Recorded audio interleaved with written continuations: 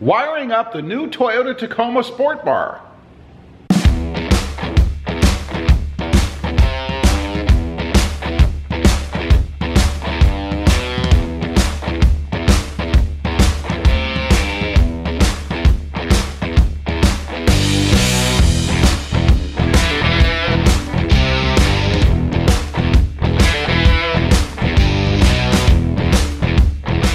Good morning everybody. How are you? And that's right, today I'm going to be wiring up the new Toyota Tacoma Sport Bar. Now, why do I have to wire anything? Well, because it comes with a third brake light you can see up there. So what I'm going to do, we have this track here and the wire comes out right there.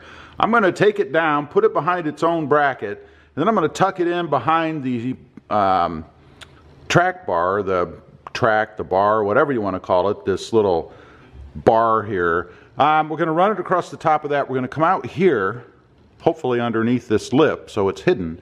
And then right here, uh, I can actually get down below to access the wiring on the brake light, which is what I need to tap into. So I've got the track bar, um, or the track, pulled down a little bit so I can tuck that wire in. Here's the other end of it. Um, it just plugs in there to there. We'll tape it up and then I'll just tuck it in behind, put the bar back up, and you shouldn't see anything, I don't think. That's the plan anyway, to keep this as hidden as possible. So, let me go ahead and put that in, then we'll take a look at it once I have it up and see if I accomplished my goal. Okay, we've got the wire run in right down there where that uh, tube is. Comes down, goes right across. You can't even see it, and that's because bar here actually overhangs a little bit, so it enables me to bring it down where this bar is, up there, um, and then just bring it down on the edge. You can't even see it. Came out really well, uh, even better than I had hoped. Ran it right across the top. It's not bound or anything. Now, we just have to pull it through and then get it into this tail light area. Um, need to take the tail light off. To do that, it's pretty simple. You have this bolt here, the second one down, I believe, uh, and then the one on the bottom here, and that should enable me to pull the tail light so I can get it connected up. We'll do that next. I am done. Uh, here's a little recap for you. Um, I did put some washers. You guys might be able to see, yeah, right in there on the sides. Because frankly, if you put this bar up against the side like it's supposed to be, then it overhangs out here by about yay far. I didn't like that. I certainly didn't want that look, so I took up that space on the inside by putting washers there.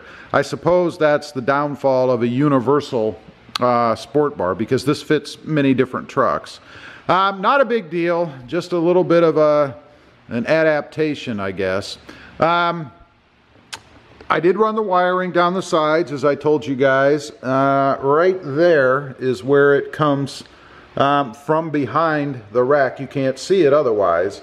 Everything is hidden behind the uh, little overhang here, or in between the rack. When I say the rack, I mean this channel, this track, um, and the side of the truck. So it just comes down here, goes inside, and then feeds down to the tail light um, which is what I tapped into for the third brake light up there. I'll show you that in just a minute, so hang tight if you want to see what that looks like. Um, I will tell you the there are no directions that come with this as far as the wiring goes. That's a downfall, I think. Uh, but if you tap into the blue, it is the blue wire on the 2020 Toyota Tacoma anyway. The blue wire uh, on the plug, or the harness, I guess, the plug, it's the plug, for the tail light. That will get you power for your third brake light. And then I just grounded it via uh, a bolt that was back behind here. So not a big deal there. Um, otherwise, everything went pretty smoothly. It was time consuming. I spent about a day and a half doing this. Now, in all fairness, I did take my time um, in doing things. Uh, a couple things I want to point out that came with the kit. Uh, the fasteners here. Uh, and by the way, this is everything I have left over. They send you enough fasteners so that if you don't have the track on your truck, you can actually drill down through and bolt it uh, through your rail. I would never do that. I would get the track if you don't have it.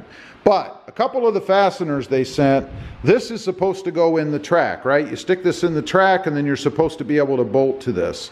Uh, it's too short. It does not work.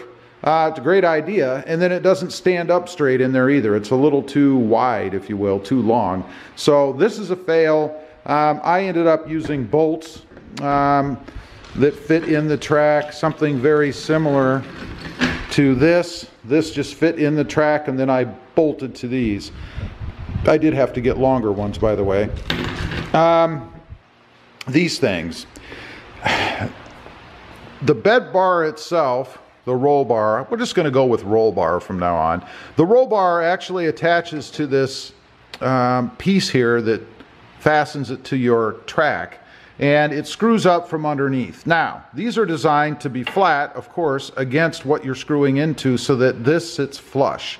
They did give you a little bit of foam under here for padding, which is nice. However, these bolts that they included with the uh, kit are too big. They don't fit. They don't fit in the threaded inserts that are inside the tubing here. So they do not work. Great idea, but they don't work. You can see maybe if you look real close under there, I don't know if it'll pick it up or not, but the bolts I used do make it sit up just a hair higher. On this side, I guess I didn't torque it as much as I did the other side because it sits flush. So you are able to pull it down uh, as much as you need to. I just didn't get that one quite as tight as this one apparently. Not a big enough deal for me to worry about. Um, you can see here's the gapping over here. And then if you look here, there's the gapping there, just a little bit different. Again, not really a, a huge deal for me. I don't really care. Uh, the shape of it when it came, I will tell you, there was a little, I didn't discover this until I had it together. Uh, a little indentation here in the tubing where there's a little bit of a lip there. It's not bad, but I know it's there. And you can compare that to the other side, which did not have that, which just sits almost flush. I mean, it is inside a little rubber foot or boot, if you will. Um, I may have done it myself in messing with the tubing. I don't know. I don't recall smashing anything hard enough for that to happen, but uh, it's possible. So, um, I'm going to take it out. I'll uh, get some pictures at the end here you guys can see. I'll show you the third brake light here in just a second. Um, would I recommend it? Absolutely. I love the look of it on the Tacoma. I think it looks pretty darn cool. I do have one piece left. It's not ready yet. There'll be uh, a blue backing to match the truck behind this uh, black horse lettering. Typically, I'm not a big fan of company names on things, to be honest, but since it's there, it looks pretty cool. And you could take this off. I don't have to have this piece on here. It just screws on. I could remove it so that it was open and maybe I will someday, who knows. But for now, we're going with it the way that it came because I'm kind of digging it. Now, one further thing I'll add before I sign off here. I think the thing that makes this particular roll bar is the extension of it along here. I think this elongates the bed and only that part up there, if that's all you had from here up, I think it would shorten the bed. So I think it looks pretty cool. I like how beefy the tubing is. It's probably three inch tubing, I'm not sure. Um, but I do think it's an awesome look for the Tacoma. And to be honest, um, I really do like it a little bit better uh, than I did from an aesthetic standpoint or a look standpoint than that bed rack. Although the bed rack is handy, it has its purpose. Anyway, leave a comment. Let me know what you think. Again, there'll be pictures at the end, uh, as well as what the third brake looks like. But let me know what you think of it. I'd be curious to know. Also, real quick, if you're interested, check out my other channel. It is Rob Motive JT, all about my 2020 Jeep Gladiator.